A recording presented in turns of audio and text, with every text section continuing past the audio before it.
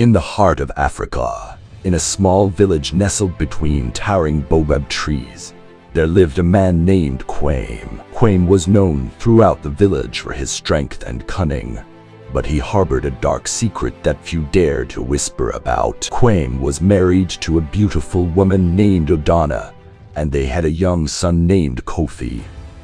Despite outward appearances of a happy family, there was tension between Kwame and Adana. Kwame was a jealous man, consumed by suspicion and possessiveness. One moonlit night, as the village slept peacefully under the blanket of stars, Kwame's jealousy erupted into a violent rage.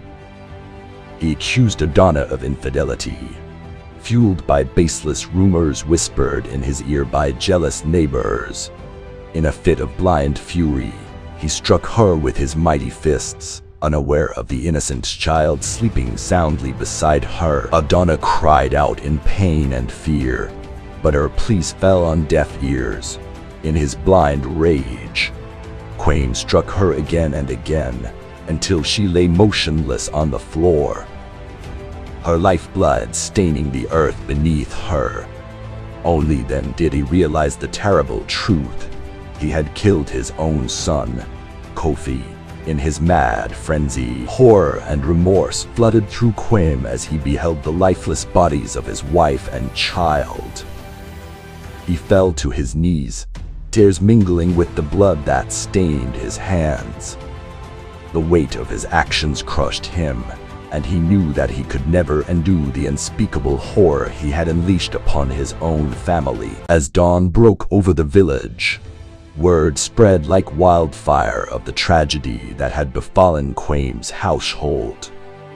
The villagers gathered around the scene, their faces twisted in shock and disbelief.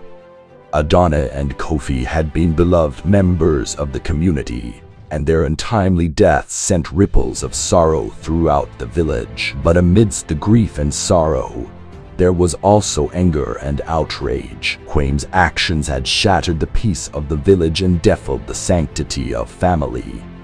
He was cast out from the community, condemned to wander the wilderness alone with his guilt and shame as his only companions. For years, Quame roamed the vast expanse of the African wilderness, haunted by the memories of his past. He sought solace in the embrace of nature hoping to find redemption in the beauty of the land. But no matter how far he traveled or how hard he tried to escape, he could never outrun the shadow of his sins. In the end, Kwame's story became a cautionary tale whispered around campfires and shared in hushed tones across the savannah. It served as a reminder of the destructive power of jealousy and the tragic consequences of letting it consume the soul. And though his name faded into obscurity, his story lived on as a warning to all who dared to follow in his footsteps.